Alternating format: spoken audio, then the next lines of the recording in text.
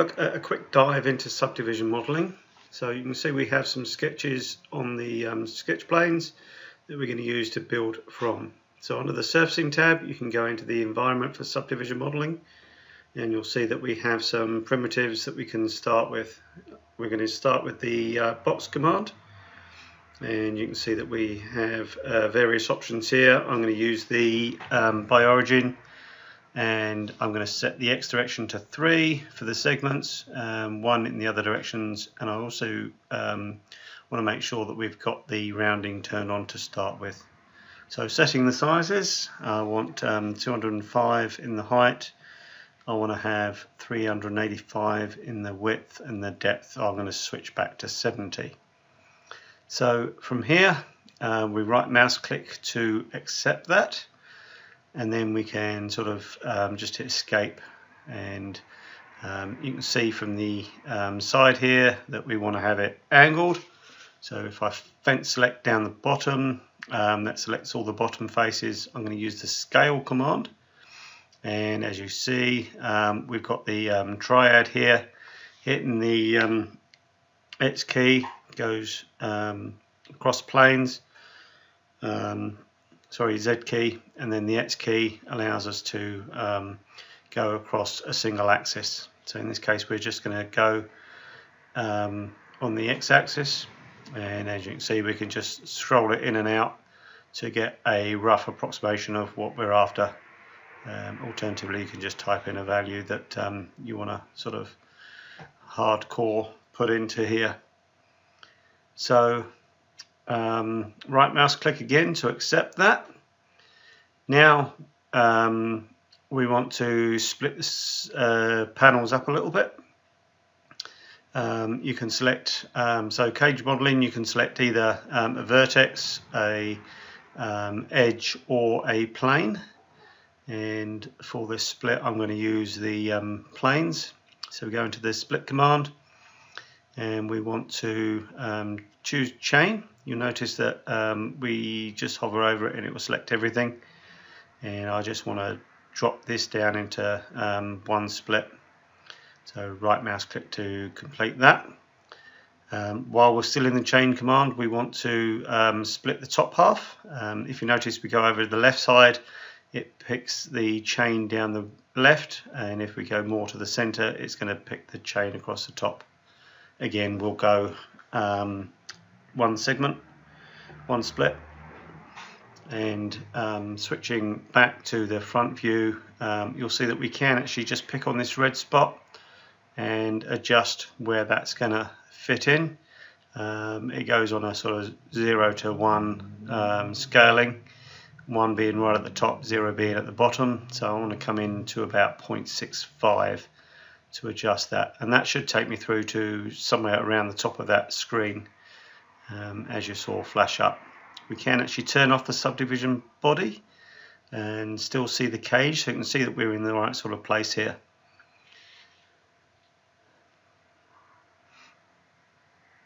So um, after we've right mouse clicked to accept that um, I need to just escape so I deselect the bottom face and then um, I can fence select this inner inner plane and use the steering wheel to just move that out so I'm going to move this out say about 65 millimeters and hit enter and then um, escape again and do the same on the other side so that we've got that symmetry um, and that sort of aligns it up to the edge of the screen.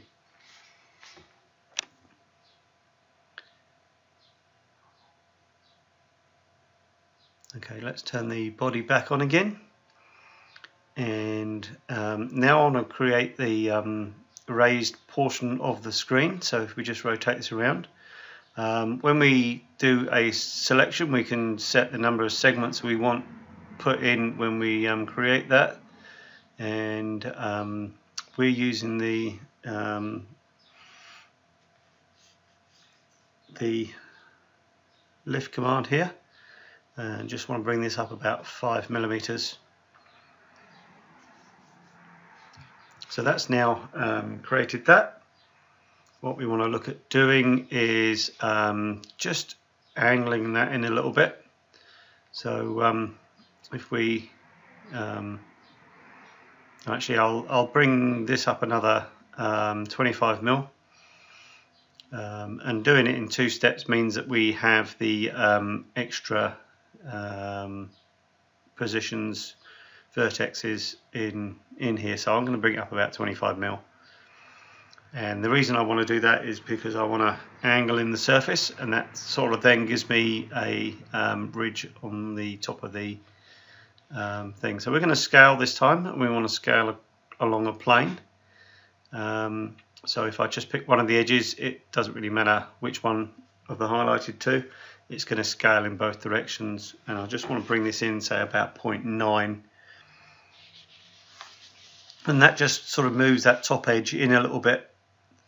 And then if I escape out of here and um, sorry right mouse click to um, complete that operation. So now um, we want to escape and use the lift option. Sorry tip option. And we can drop that straight down. And if I hover over that point that we picked earlier on we can sort of just give it um, actually no I need yep so we snap on that point there and that sort of drops it down. So you can see that we've got that um, edge in there. And then when we go to the next step if we um, bring that down and we want to make this one just drop it down 5 mil to bring it back in line with where the original one was. So as you can see we've got a nice sort of raised ridge around the screen and the screen would fit inside of there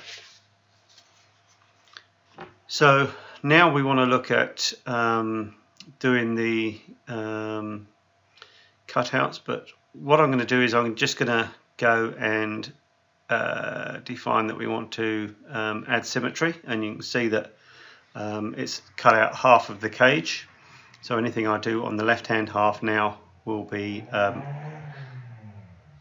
mirrored on the right-hand half. So right mouse click to accept that so um, just add in another um, couple of splits. So we'll start with the um, left hand portion. So as you can see I moved over to the left hand side just to get that chain working and we just drop it down to one um, like we did before um, we want to um, take the center section and we'll split this and again with one and we want to just move those points down um, sorry across to uh, where that groove is at the top. So we want one at the bottom and one at the top. So we can just use these red spots to um, position these in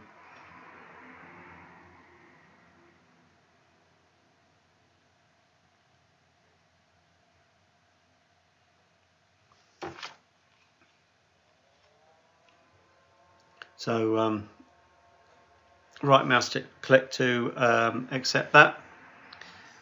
Then we need to, um, we'll start with the uh, bottom edge. And um, if I just sort of rotate the view, um, I just want to pick the um, that bottom face plus the vertices on it. And I'm just sort of rotating it around so that I don't get the edge of the uh, screen so I can do a fence selection, just um, move this over a fraction and you can see that we can sort of go through and pick up on, on those faces as you can see. Um, okay, so we need to just change our option to tip. That gives us the uh, nice sort of edge on there and um, as you can see I just click on the vertical arrow and drag that down and you can sort of see it sort of catch up and it's sort of acting on both sides. So we want to bring this down sort of somewhere in the region of about 30 mil. So I'll just type that in.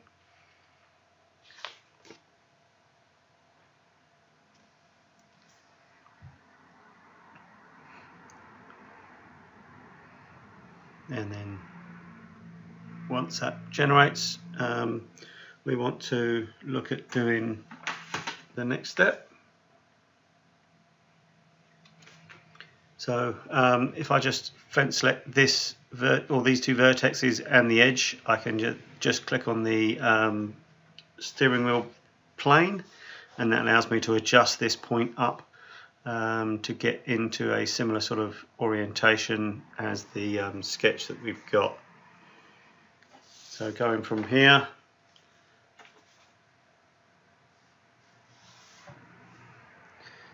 once that's actually caught up,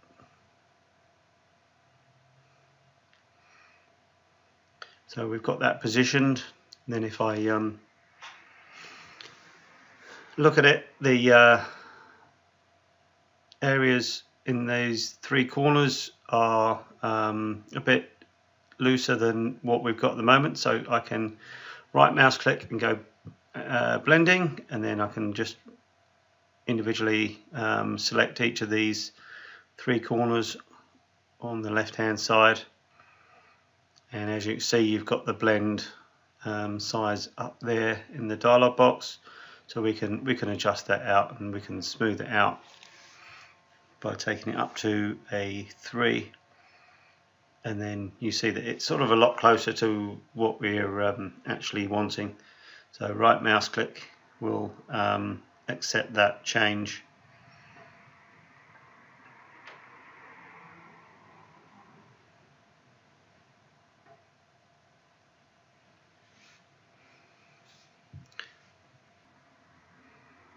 So click it on this plane here, we just need to um, use the vertical dimension or the um, steering wheel and as you can see that gives us a sort of a, a reasonable approximation of that notch at the top.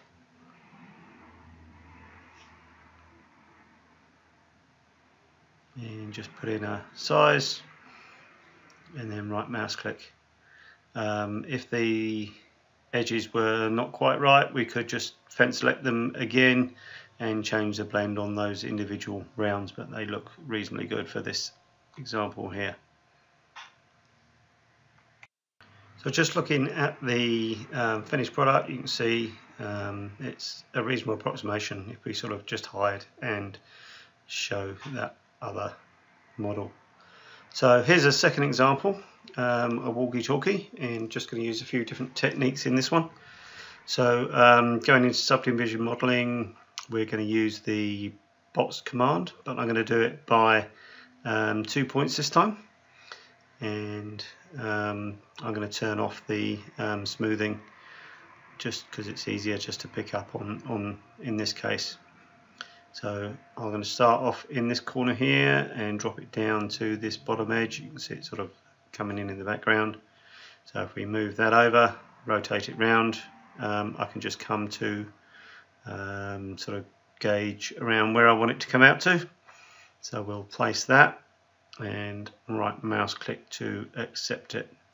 Uh, notice that we've only got one um, vertex in the or one edge in the X, Y and Z directions um, because it's easier just to sort of divide it up as I need to.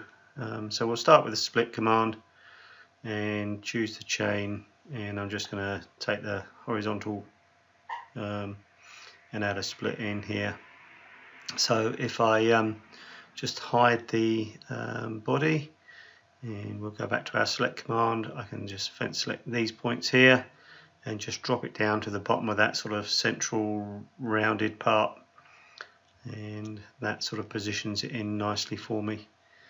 So um, from here I want to go and split this again and I'm going to use the chain and just select that top part and again I want to um, up this this time um, give myself more control points so I can get that rounded looking shape and um, sort of then right mouse click to um, finish that.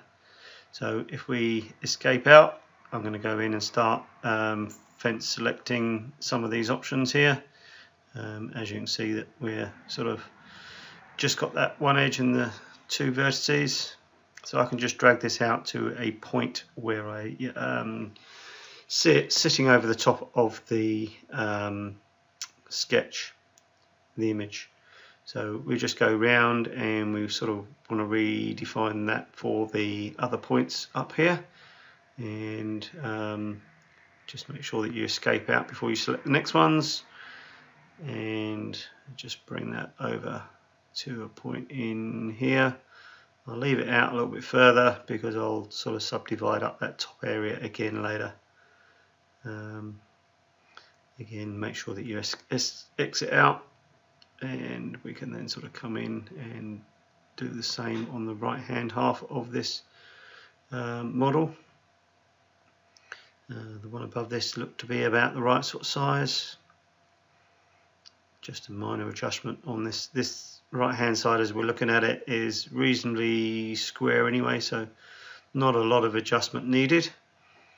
So um, just sort of go around and um, pick up on these items here. The one on the right is reasonably good so we'll leave that and we'll pick up on these points here. So that's the um, top half uh, from that plane. As you can see um, we've got a, a, reasonable approximation at this point. We can go um, put the blending on um, select everything and just put a uniform blending on.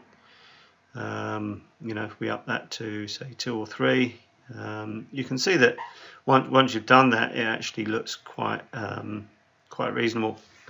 So I'm going to leave that off for the moment um, there's still a little bit of adjustment uh, required in here. So looking at it from the other view um, we just need to uh, sort of pull out the um, sides just to um, get the um, sort of rounded shape coming in the other direction. So um, as you can see we've got uh, slightly more rounded on the right hand side than it is on the left or the front instead of the back whichever way you want to look at it. So just like we did before we just go around and pick up on those um, vertices and edges and um, get the rough shape of what we're after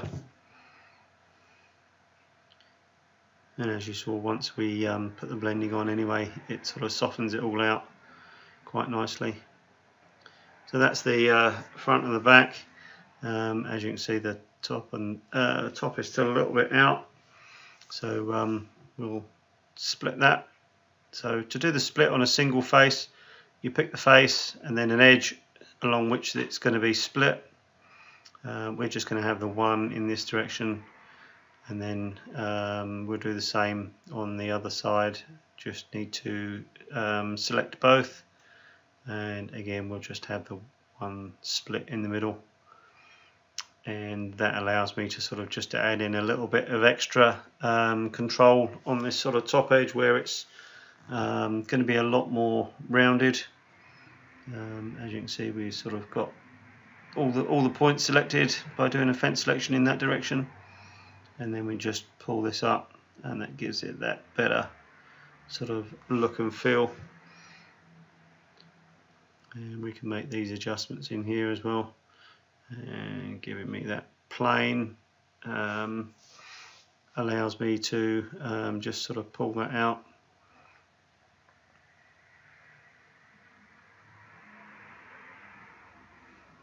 and as you can see going in the other direction it's sort of just gone a bit out of out of square. So again I'll just um, do a fence selection on these points here and just drag them over to soften that top edge up.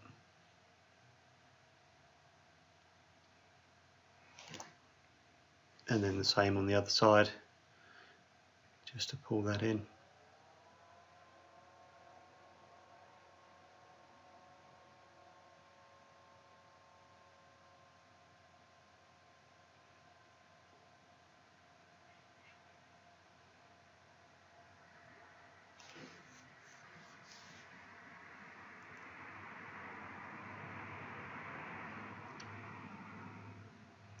So um, just looking at that subdivision body, um, we sort of need to get the contours down the bottom end, so we'll use the split command again, and um, we'll use the uh, chain option.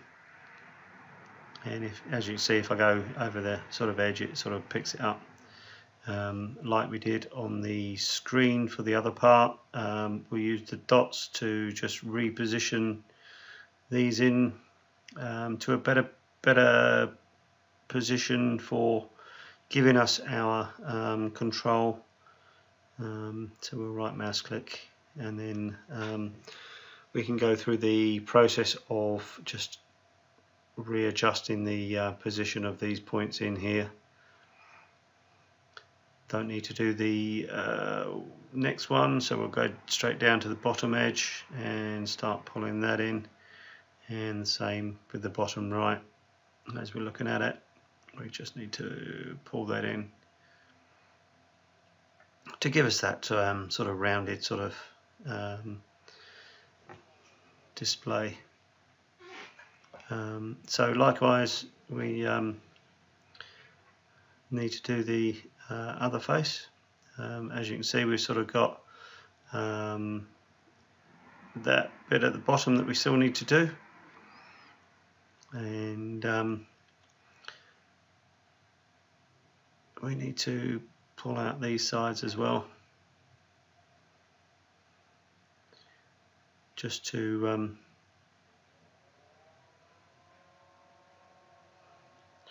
control this. I'm going to add in another um, split.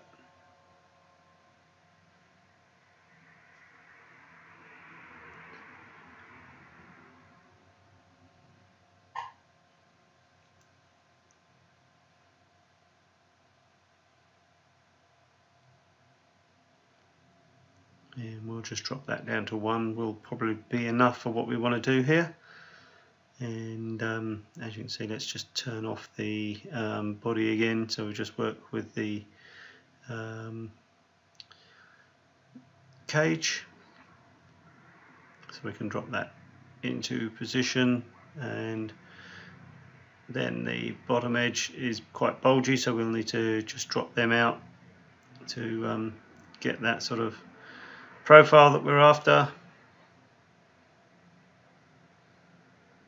and just some quick adjustments. Try that again. Just get the arrow rather than the um, torus. So um, that sort of adjusted that bottom area. Um, and as you can see we've um, sort of gone a long way. Um, you know if you're doing this for real you may want to um, put a little bit more control in, but this does give you a reasonably good um, indication of what you can achieve.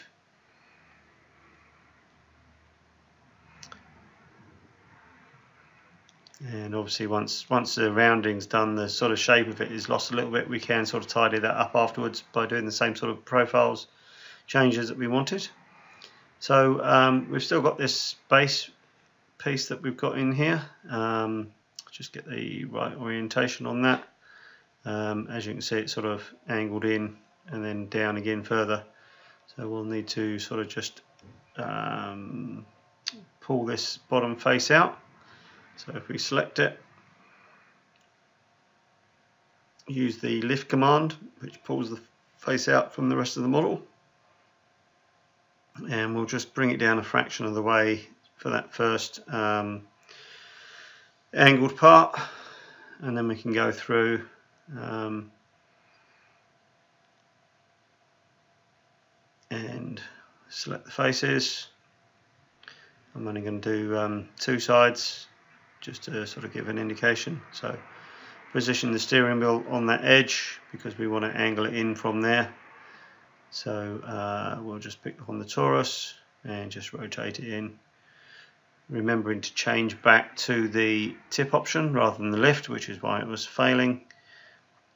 And we can just put in a um, sort of size on there and just get that roughly about right. Then we'll do the other side as well. Right, just need to um, escape out of there and get the actual face rather than the edge.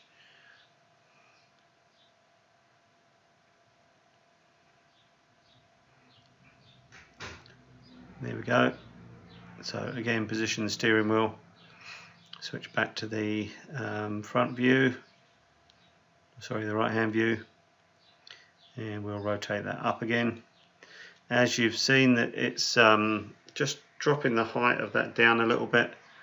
Um, so it's not quite um, as deep as it was. So um, I'm just going to um, fence select this and just drop it down so that we're um, now sitting square and I can use my key points to um, position this. So if I sort of um, get that right uh, we're sort of all good.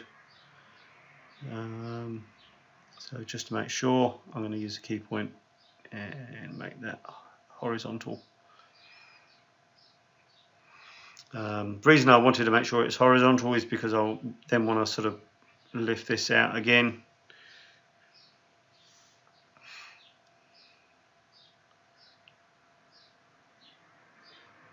Mm, making sure that we um, have the setting right, so we want to lift it, not tip it. So we can just drop that down into here.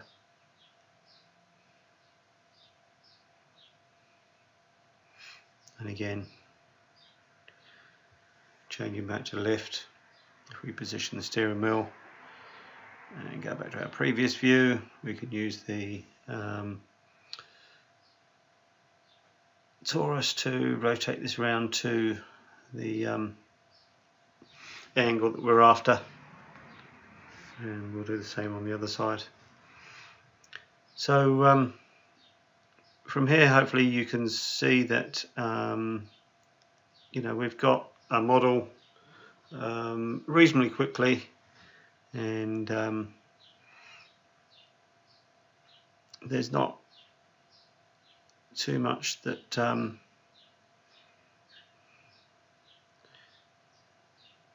you know if you think about it and how you're going to do it it's um, possible to do some quite fancy stuff to um, get where you want it to be